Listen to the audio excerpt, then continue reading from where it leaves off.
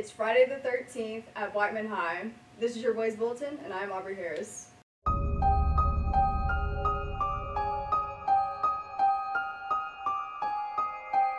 Whiteman is hosting the Middle Tennessee State Jazz and Orchestra Clinic today and tomorrow.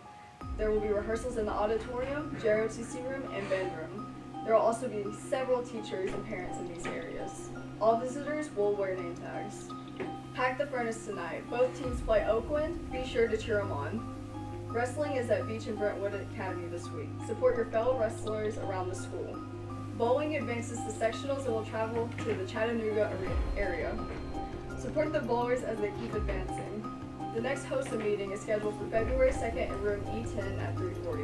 The Academic Career Expo is January 23rd during the school day. Come and check out the various career tracks you may choose when signing up for classes. Opportunity Night is coming up at Whiteman on January 26th at 6 p.m.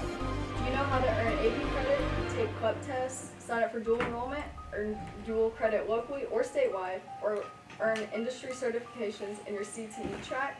Stay tuned for the next few days for more videos with information. Track workouts continue this week. Anyone wanting to run track will need to be on the roster and have all Dragonfly issues corrected and be actively practicing and participating on the team by February. If you have questions, please see Coach Sutton, Coach Michael Harris, Coach Sapu, or Coach Allen. Anyone interested in soccer should talk to Coach Weiss.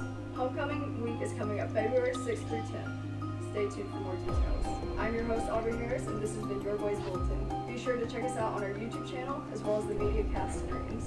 Happy Friday the 13th, and go Blaze.